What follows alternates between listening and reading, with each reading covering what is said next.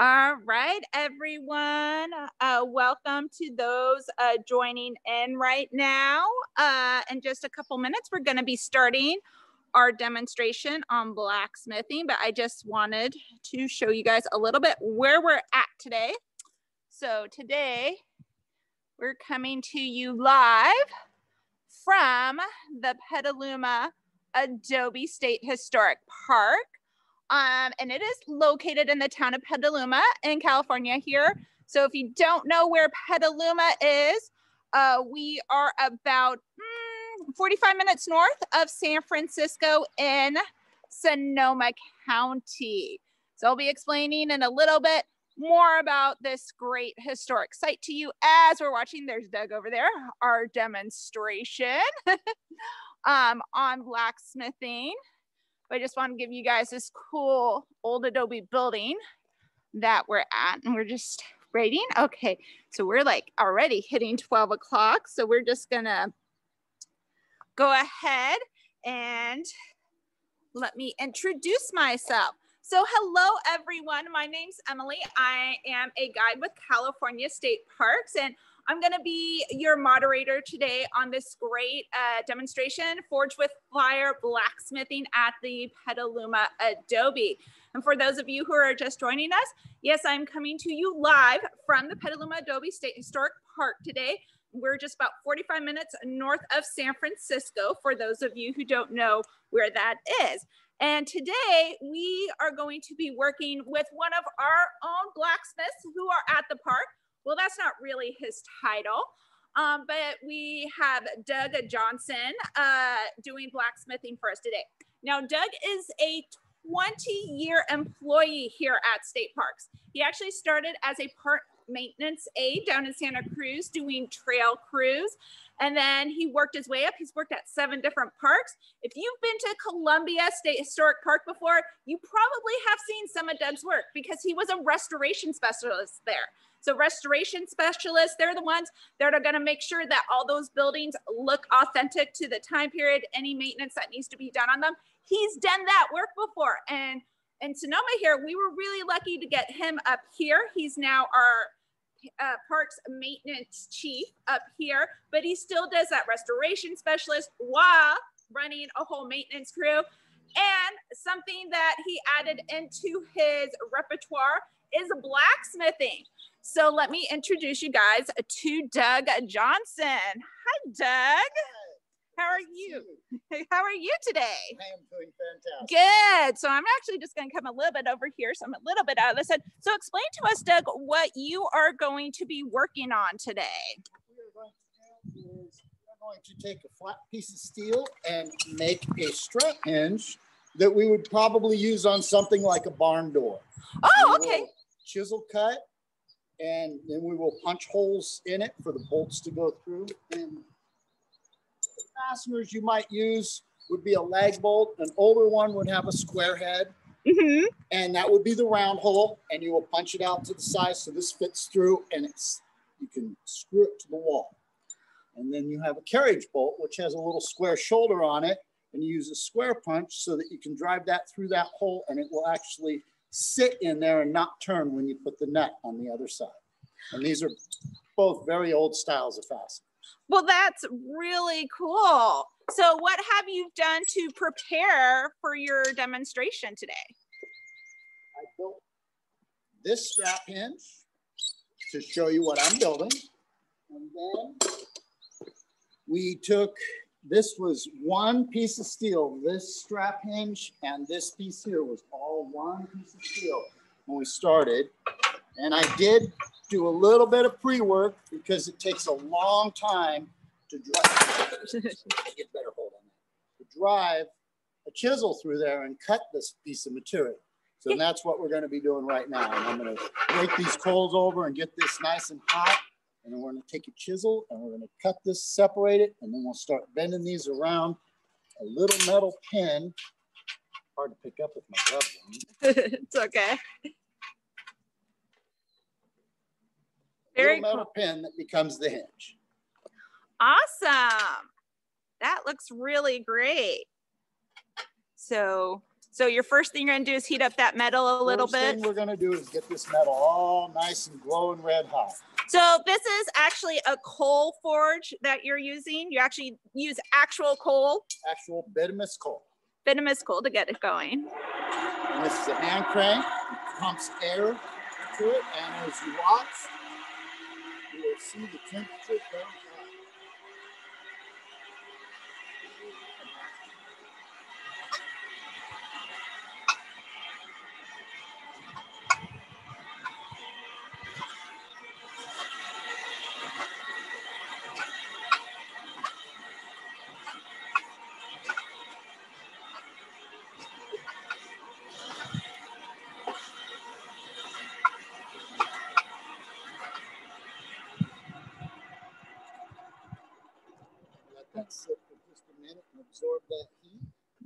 pretty intense.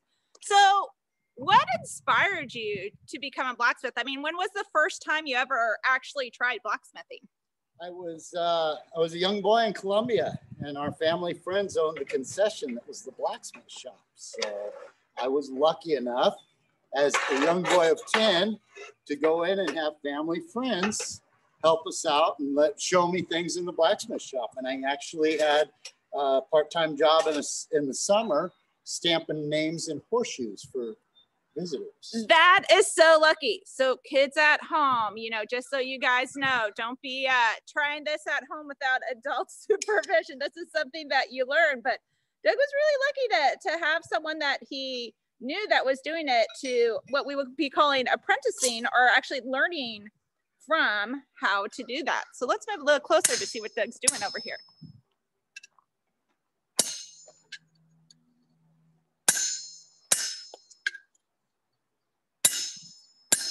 This is a very traditional way of cutting metal. It's called a chisel cut. Almost, let me go for another heat.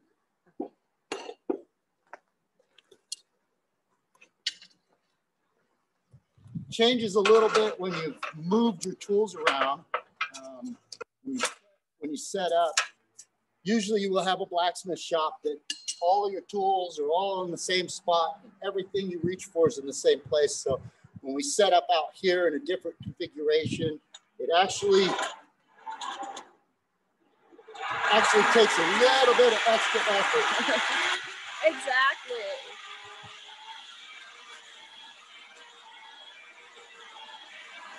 Yes, as some of you can see, we are here live um, at the Petaluma Adobe. Just so you guys all know, the Petaluma Adobe is actually still currently uh, closed.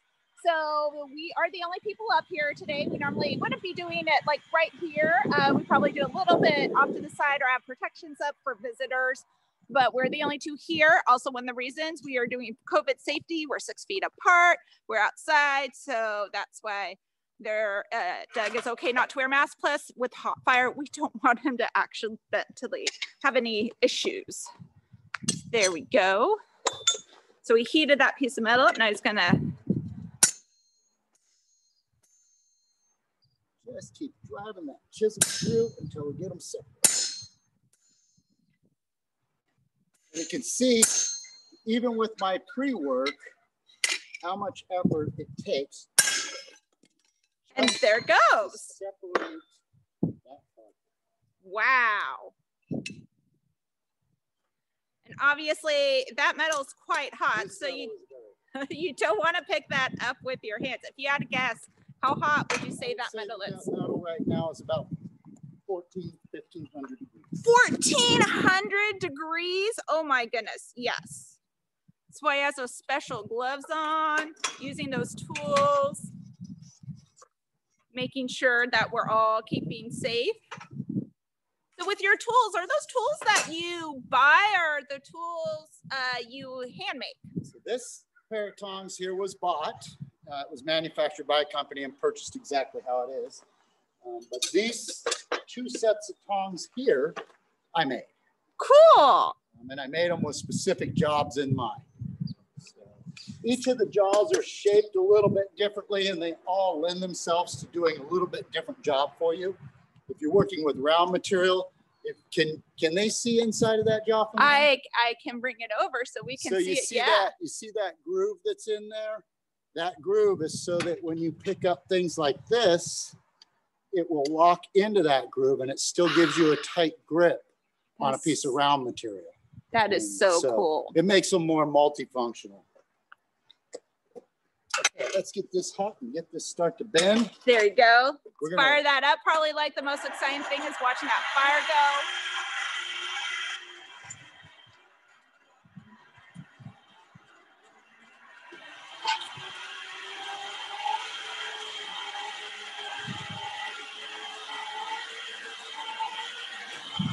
So for those of you who have not been to Petaluma before, uh, at the Petaluma Adobe, this is actually the rancho of General Mariano Guadalupe Vallejo. It was his first land grant he received from the Mexican government. It totaled 66,000 acres at one time. This was a huge cattle ranch. And it also, they would have needed blacksmith here because there's a lot of doors and windows. So things like Doug's making today, these hinges, would have been important for all those doors. what I'm doing right now is I'm just starting to get us round. Um, and one of the things when you chisel cut is you see all these sharp edges. Uh huh.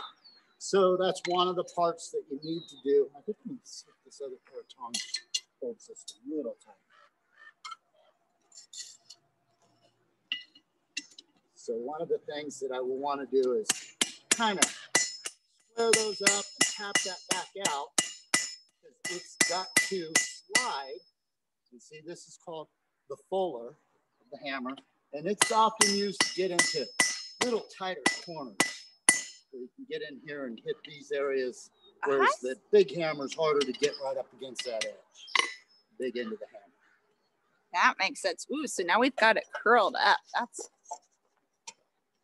there you go. Then get that fire going again.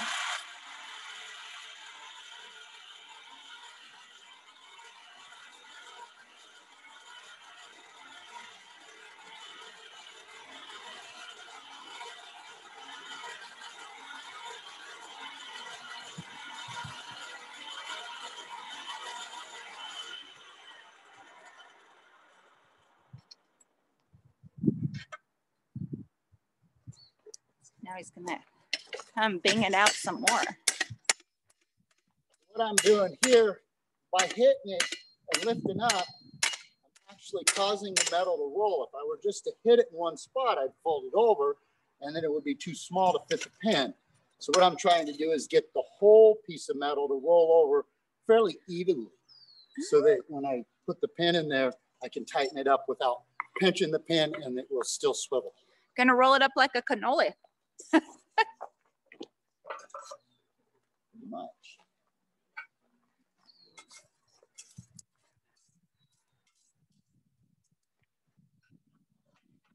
So a lot of this is you gotta heat it up, work it, heat it back again.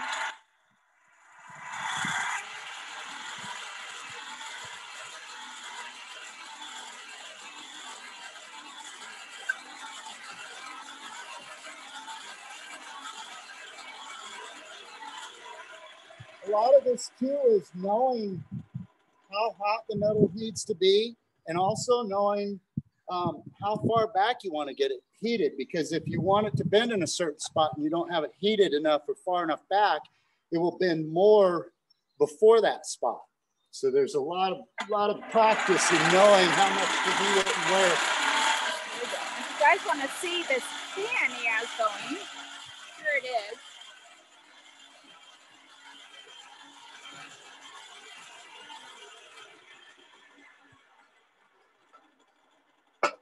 One thing I noticed that I wanted to make sure I'd done was I want this real close to be bent down a little more. Notice That hadn't happened, so I was making sure that I got it hot all the way back to the shoulder so that I can have that be a little bit of an angle there too. Now we'll go back to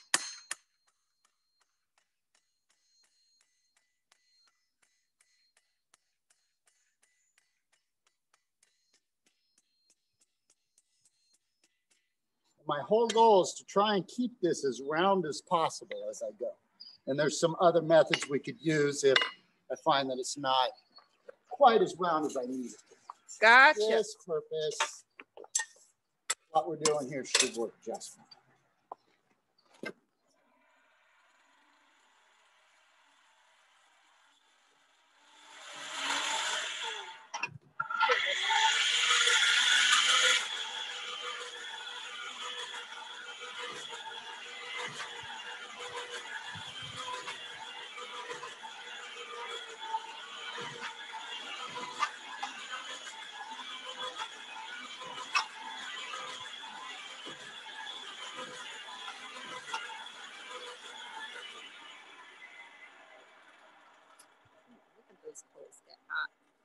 This point in the game, I'm mm -hmm. actually gonna, gonna pretty close to wanting to get the piece of steel in there because I don't want to make a mistake and get it too tight. So you're sizing it basically. That's exactly what we're doing. We're sizing it to that pin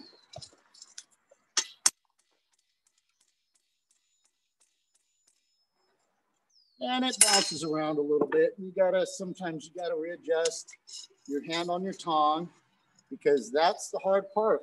This is very, very, very hot. If I actually touch my leather glove against that, you'll see a little smoke come off of it.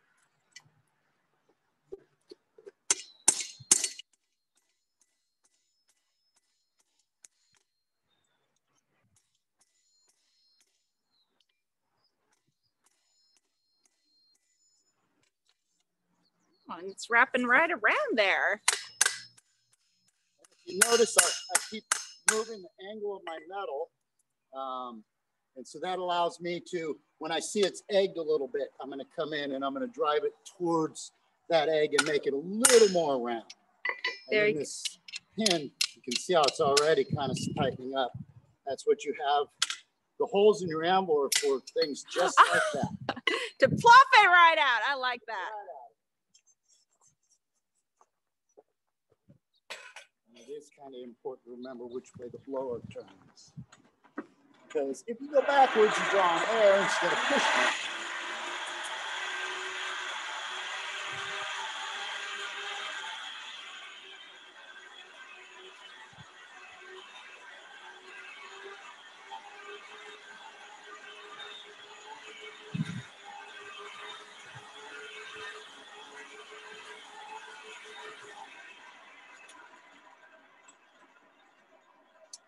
So as we're watching today, so Doug is making one hinge. There are approximately 15 doors on this Adobe. So imagine in the 1800s having to make 30 hinges. You know, they don't have Home Depot guys. So this is really an art unto itself to have to have all these made by hand.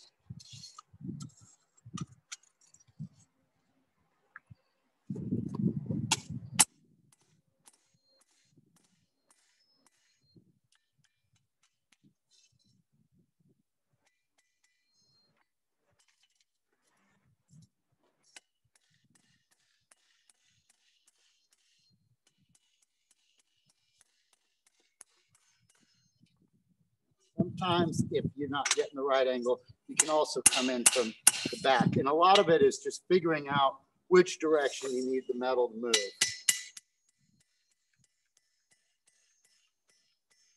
And when you get to a certain point and things aren't moving, you heat them back up? Drive that down into that point and you take a different tool. This is called a drift. And this is one that I made myself. And you set that drift on there. See if you come out here, you get a little more support on its own. Set that drift on that pin.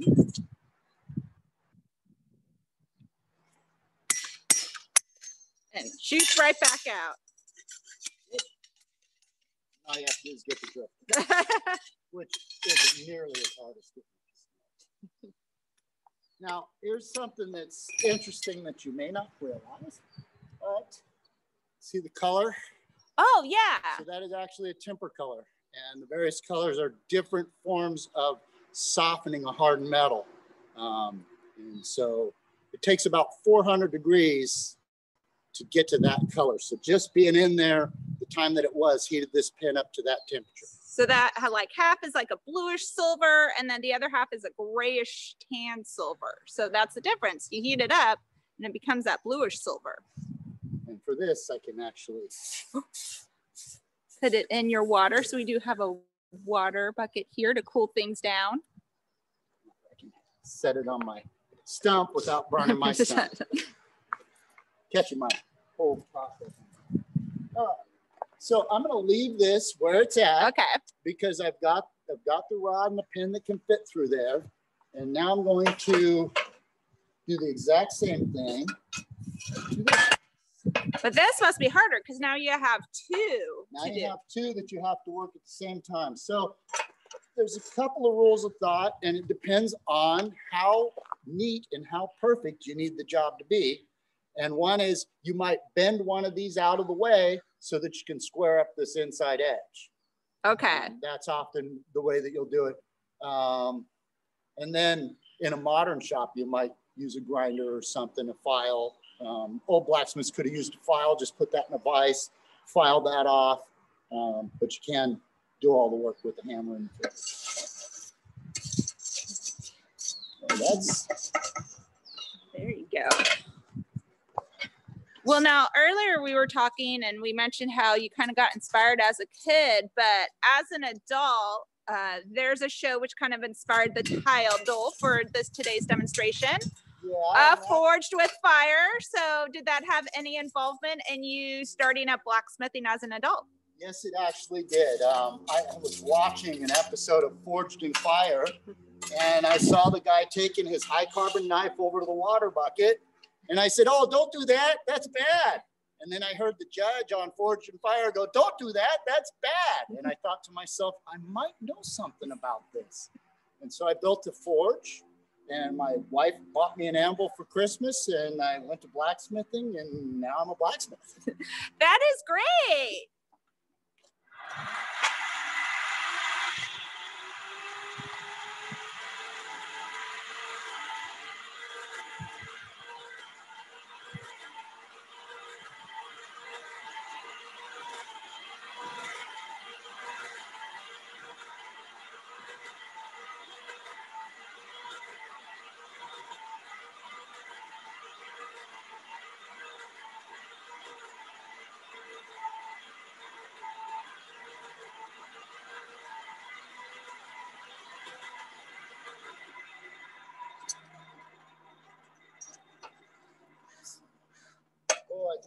Be a little high. Yeah. Does it make a difference which way you turn the crank for your yes, air? Yes, it does. If you turn the crank backwards, it draws air through the forge. Backwards is this way. So the fans are going this way, and it's actually pulling air through the forge, which doesn't help to heat your. And you have to make sure that you're cranking it in the direction that fans are going this way and it's pushing the wind out of the forge. Oh, okay.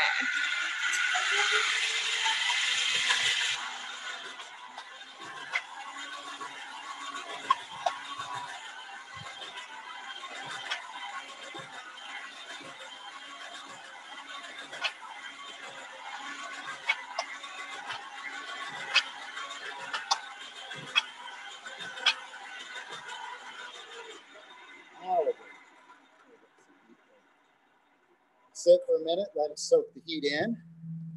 And um, today you're working right outside, but uh, there's probably a reason most blacksmiths are inside because they're working with fire and it's hot out. Keep a little bit cooler. Yeah, and there's also another reason. Um, in the bright sunlight, even though that metal's hot, it looks gray. But when you get it into a shadow situation, um, you can actually see the colors of it much better.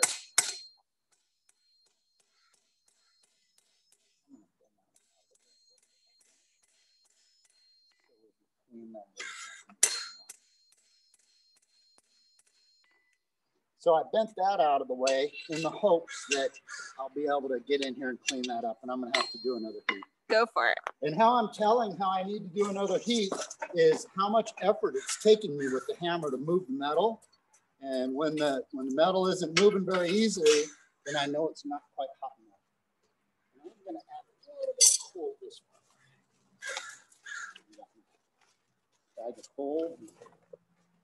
So I learned something from you this morning while we were getting prepared, and you were telling us about um, that there's actually metals in the coal, and sometimes you have to take out some of the coal because the metals start to bind.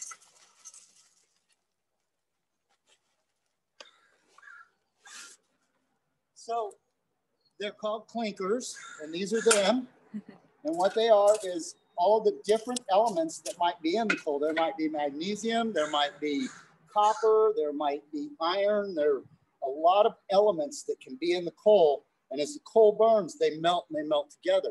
Well, a lot of these elements are metals, elements that we put into our metal to give it properties, specific properties, like being able to bend and spring.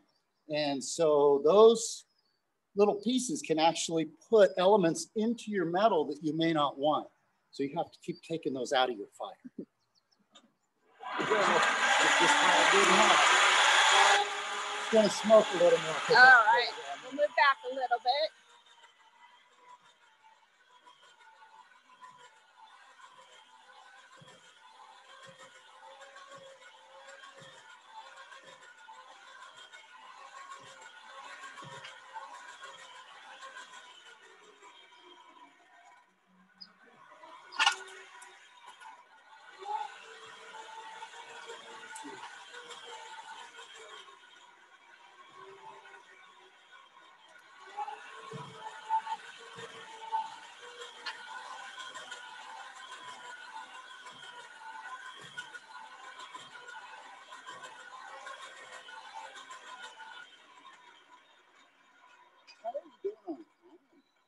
We're fine. Okay,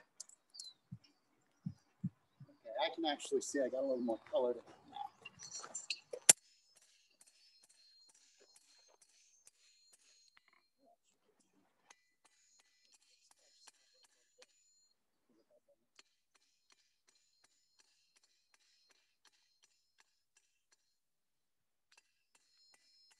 I'm trying to do right there is just knock off those sharp edges off of those.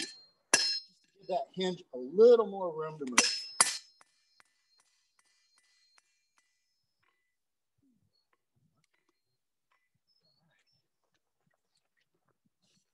Of back and forth. So the, difference, I guess, between the coal forge and the gas forge is you're constantly working with the fire, keeping the fire going. You got to crank it, you got to heat it, you got to.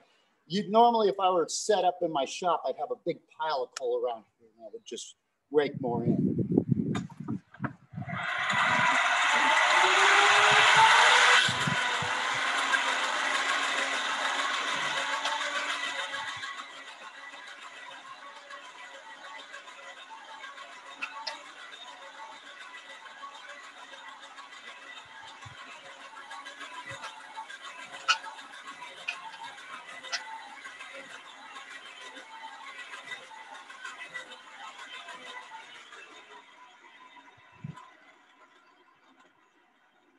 Gas forge, you don't have to sit there and work with the fire. You put a metal in, it gets hot, pull it out, you work it back in.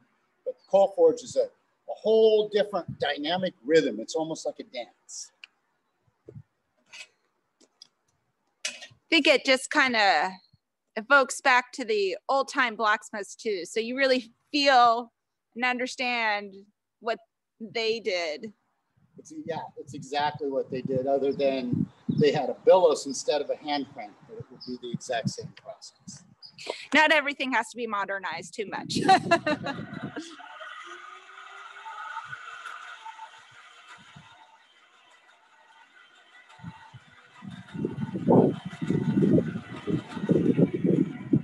The really great thing about this tool being a coal forge is, as you can see, there's no power here. So I'm not dependent on SMUD or PG&E.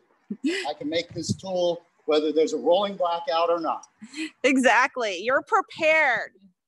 You you will you will be a survivalist.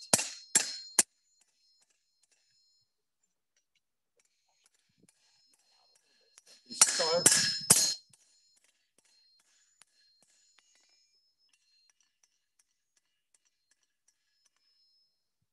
So what I did was I flatten that back out so that I can start rolling my edges um, out near the tip.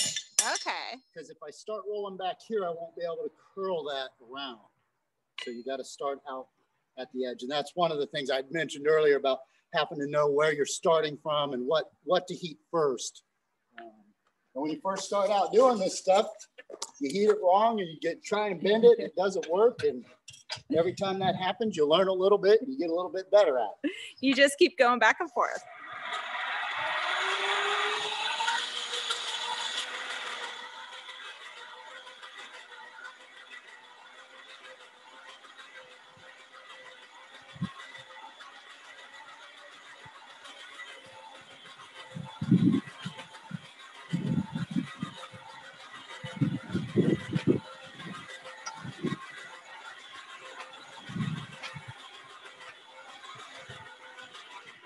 Let that sit and I'm going to go for another round of plank because I just it was not feeling hot. It's- and metal, metal doesn't just get hot quick. A lot of times it takes time for that heat to soak in through the thickness of the metal. That- uh, what exactly is the metal that you're using today? So the metal that I'm using today is called mild steel. Um, most of your hardware stores carry it and they call it weldable steel. It has a very low carbon in it, um, which steel is iron, ferrous iron with carbon added to it. And uh, you get different properties out of the metal, the different elements and the different amounts of carbon you have in it. A steel like this might be 0.04% carbon, but that little bit of carbon is enough to make it not be iron anymore, but to turn it into oh. steel. Interesting. And mild steels, were it's very easy. It's easy to weld with. It's easy to work with. The difference is, is it doesn't get hard. So over time, it can bend and misshape, but it will do the job for a very long time. Um, and then they have blacksmiths to straighten it out again. So unlike like the tools like your uh, shovel and your poke, that's made out of what kind of metal? These are mild steel as well. Oh, okay. Yeah. These are mild, and I made these for this forge uh, just recently. So you do have to be then be careful also with those because they will heat up as well when you're working. Yeah, as far as grabbing them with your hands sitting next to the hot fire, that that is true. but that you can heat them up and reheat them, and they the the low carbon content allows you to be able to do that with metal multiple times without ruining it. But if you have a steel that has a lot of carbon in it, um, that's another story.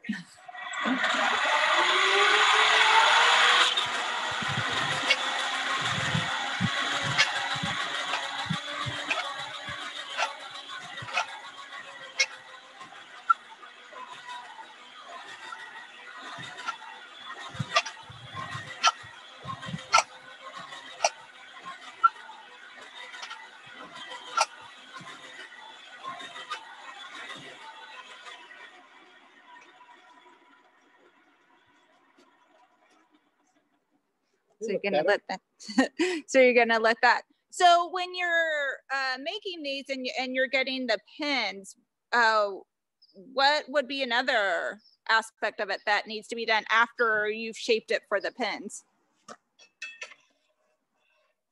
Oh, I put down here. So um, this hinge is the same as that one, and that pin is the same pin. Can they see that? Yeah. There you go. And so you wind up heating this end, and I prefer to use a, a peen hammer. So this is a, called a ball peen hammer, and that's because this is a ball. And to peen is to smash the end over the top and make the outside edge larger than the whole rest of the shaft so that it won't fall out. Oh, okay. So that's what we'll be doing with the pin when we go, when we get it set, we get the hinge working, then we'll peen, peen these over and then we'll drip the holes. So the pin, once it's in there, it's in there. It's in there, yeah, yeah, it's not coming out.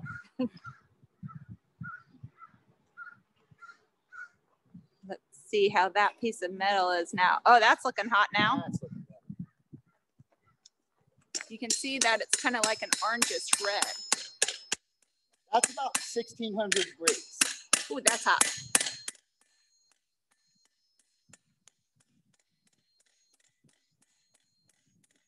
That one, not quite as hot as the other. You want to work them at both the same time.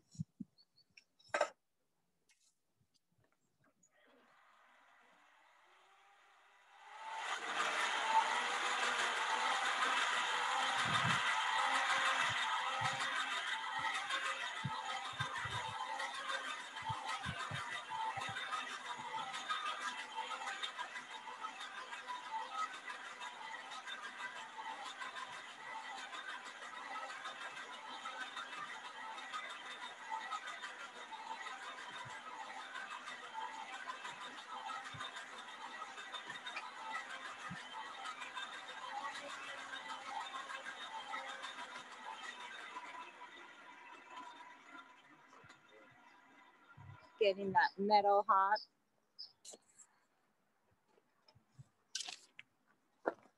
Yeah. Look at that. See, now that side's hot too.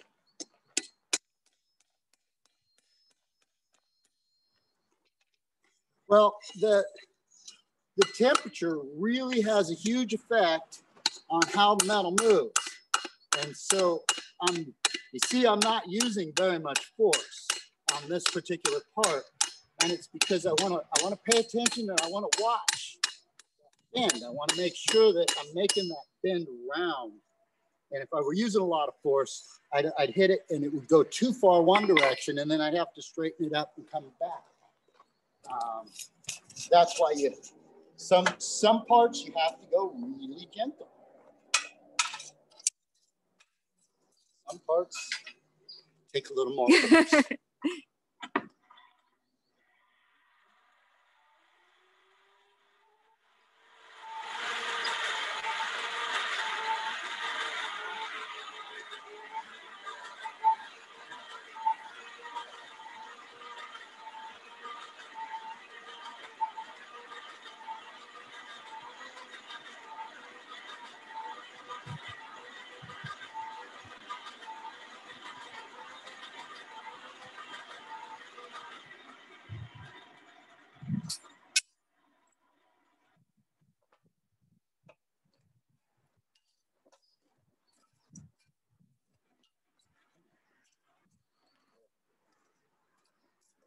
See how that looked like it bent? yeah. That's because it has other elements in it.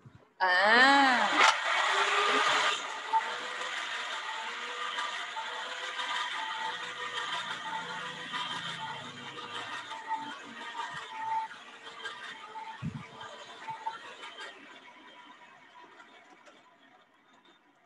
All right, so let's see, bend this out.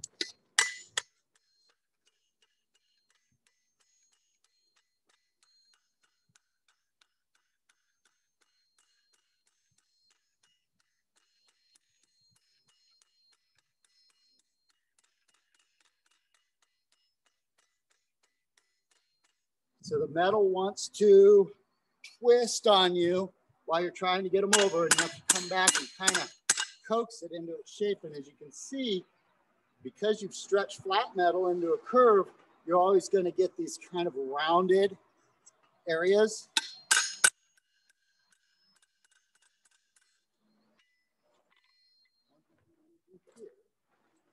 just want to make sure you have Oh, the that space to fit around the hinge because if it doesn't, now is a good time to take care of it. So we're Yes. getting right on that point where um, It's important to make sure that the pieces fit together, just like a puzzle. Oh, yeah. And as I dig down in here, you can see how, the, how there's really hot bed of coals under there that I keep going back to. And that's what I'm doing here is shoving it down into that bed of coals with some fresh over the top so that it all gets hot.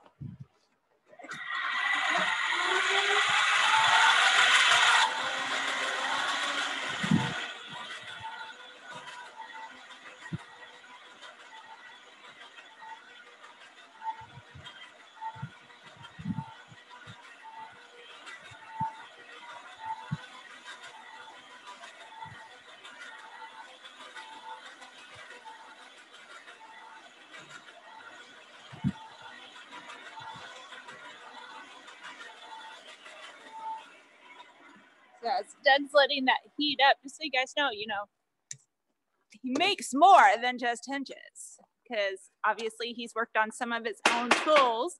And you see those knives on there? He actually made those knives um, out of Damascus, Damascus steel.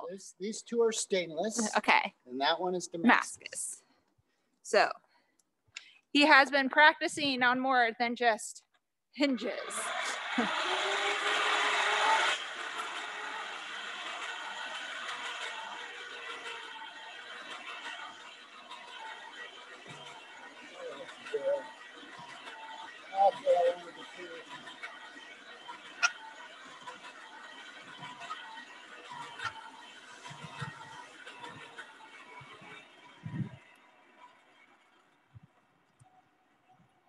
cooled that off. He's got his pin, it's cooled. I got two young boys, and they, they get to come out in the shop and they work with me. And I always tell them all the time, don't pick any piece of metal up in this shop unless you test how hot it is. How, how do you test how hot it is? you uh, you raise your you raise your bare hand to it with the back of your hand and you come in closer and see if you feel any heat. Okay. Because if you touch it with the front of your hand, your natural instinct is to close, and you might close your hand on a Ooh, really hot piece of metal. That's actually really good advice. Looks like a little fire came off of there by your glove. Yeah, I uh, actually touched the edge of that with my glove, just a little bit as you guys can see, he has lots of safety equipment, the gloves, the apron, glasses, make sure nothing gets in his eyes. And of course, we're always safety here. So we have lots of fire extinguishers. Important things, especially working around old historic buildings. And of course, for the safety of our own people. It's just like turning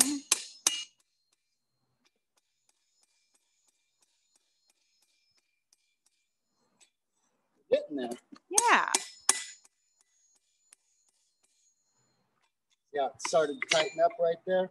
And part of it isn't quite where I want it to be. So I'm gonna look for a way that I can use my anvil to change that.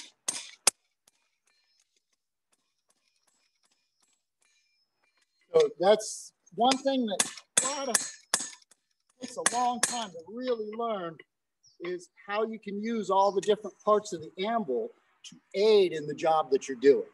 Um, and the longer you smith and the more you do this, the more you figure out all these little tips and tricks. Um, yeah, what I'd love to be able to do is that back a little more.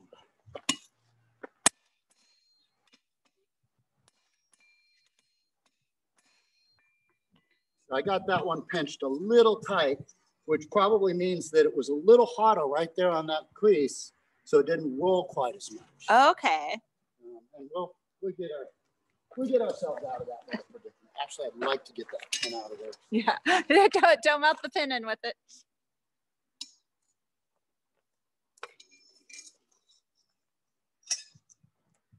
By bringing that back to there, I do ha I have the advantage of using the anvil to help me hold my material on. You notice that I'm using my left hand? Yes.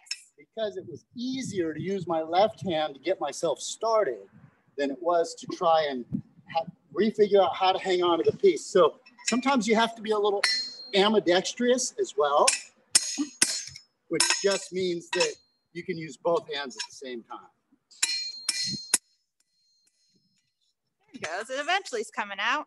Yeah, we'll get it. Do a little something. Interesting. That'd be my boss time. well, he gets to wait just a couple more minutes. See, even our even our maintenance department, you always have to be prepared. You never know when someone might call.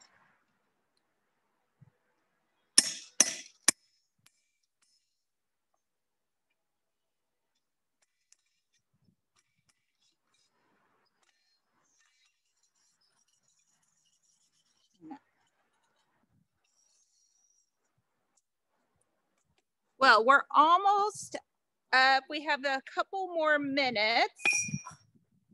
Time flies when we're doing these presentations.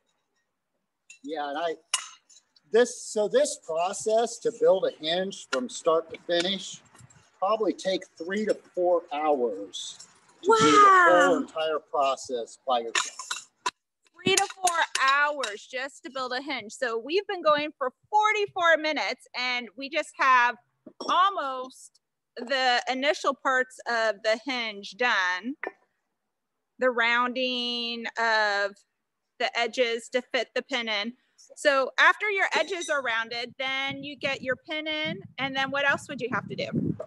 So what else you might have to do is on a hinge like this, you have an angle here or it doesn't open all the way flat and the door won't open all the way out or close all the way. So you have to eat these edges back at an angle so that they will fit together when it's flat.